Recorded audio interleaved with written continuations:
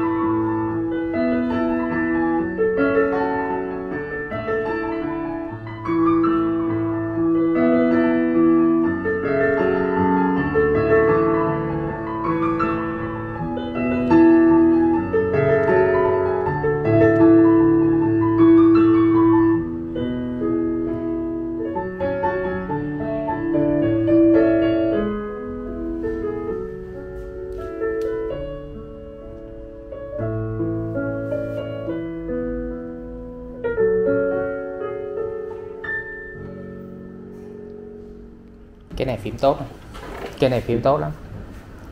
Rất là đã luôn. Em vặn nhỏ cái tắt cái volume á. Đánh không cái bàn phím không là nó đã rồi. Ờ, cái này là dòng cao cấp. Nó sẽ chia thành 3 tầng là 705 nè.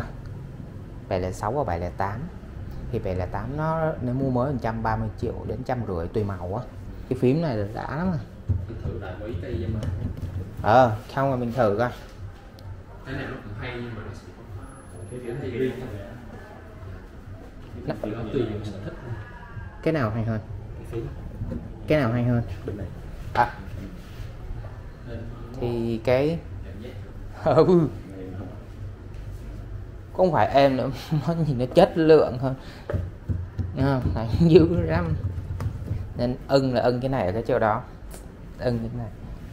Cái này là sản xuất này này khá mới đó nó cái này model đang hiện hành thì mình coi được cái năm sản xuất luôn. Coi luôn đi. 2019 à 2019 Dạ.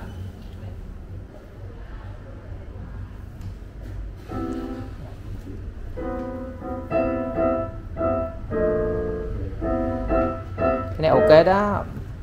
Cái này là một trong cây đáng giá đó. Cái này chỉ có màu trắng thôi hiện thời là như vậy. Anh đang không có cái cây màu khác. Đang tính kiếm uh, đèn màu đen. Vậy đi em cứ chờ đi. Ờ, ví dụ em ưng cái này thì em cho cho anh vài hôm để anh chuẩn bị cái hàng màu khác.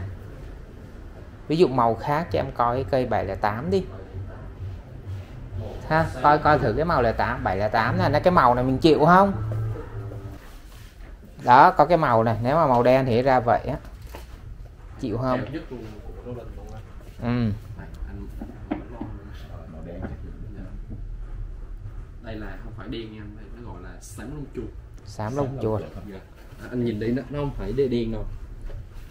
Nó sáng sáng vậy. À quên mình còn một cây nữa mà mình quên cái này nè. Sao mình không nói cây này ta? NU1 nè. Dạ. Coi cái này dữ dằn luôn cũng có ba mấy triệu à. Mà màu đen này chịu không? Đen bóng á đen bóng.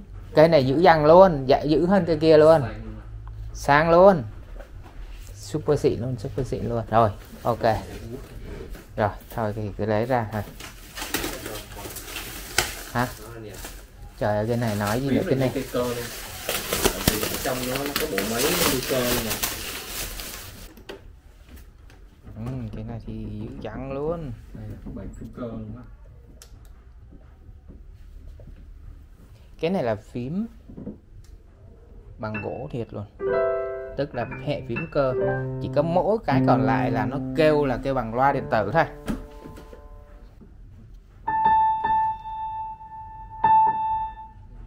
Vợp à muốn vợp hả? Thôi bỏ cái vợp luôn. Dạ.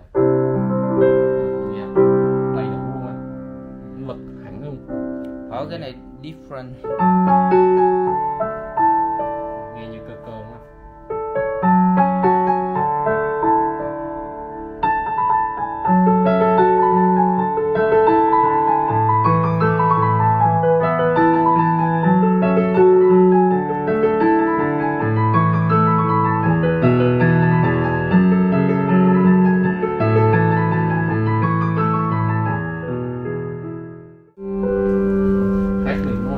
khác cái này cái khác cái này là một cái đẳng cấp. Đẳng cấp tối cao rồi. Dạ. Ok đạn nào thì nó gác ngay đây. Dạ. Sau một hồi suy nghĩ thì bạn cũng đã đưa ra lựa chọn cuối cùng của mình là cây NO1 thì ờ, khi bước đầu vào cửa hàng thì bạn à, tìm cái cây CLP 745 sau đó là tư vấn thêm cây ờ, LX 705 xem có khác không nhưng mà có sẵn cây NO1 ở đó nên là đã tư vấn cho bạn và rõ ràng là cái cây này là tối ưu nhất trong cái tầm tiền mà bạn đang cầm. Cho nên bạn đã lựa chọn cái cây này. À, trước khi đi về nhà khách thì bên Hoàng cũng mở ra để hút bụi cho nó sạch sẽ cái bên trong. À, nhất là cái đoạn mà nó có cái sensor để nó đọc à, cái cái cái độ mạnh nhẹ đó. Đó chính là nó đọc xuyên qua cái cái cái cái tấm plastic đó đó. Đấy, chỗ đó nó cần phải sạch bụi thì mới được. Cái tấm phim nó sẽ kéo dài từ trong suốt cho đến đen thì cái sợi quang học màu đỏ ánh sáng nó sẽ đi xuyên qua và nó phân tích được cái tốc lực mình đánh xuống để nó biết được đâu là mình đánh nhẹ hay đánh mạnh. Và các bạn nhìn xem à, phím bằng gỗ hoàn toàn đúng không? Nguyên cái bộ action này là giống như cây cơ đó. Nhìn cây này rất là đẹp ha.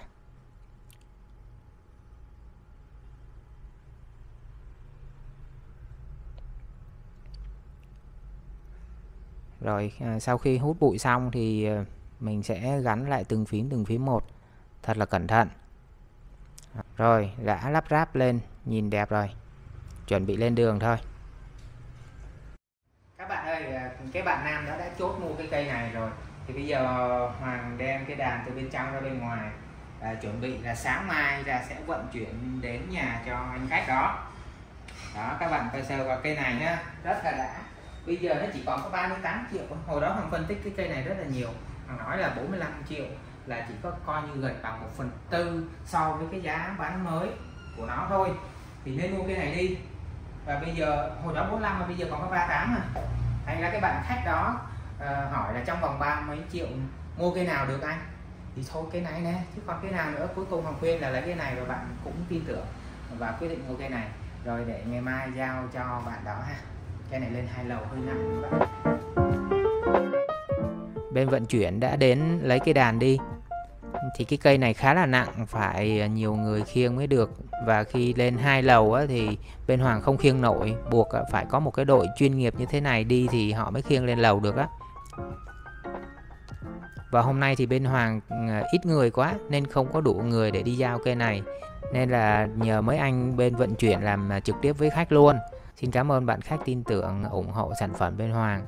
Các bạn cần đàn thì nhớ gọi cho bên Hoàng nha. Cảm ơn các bạn nhiều.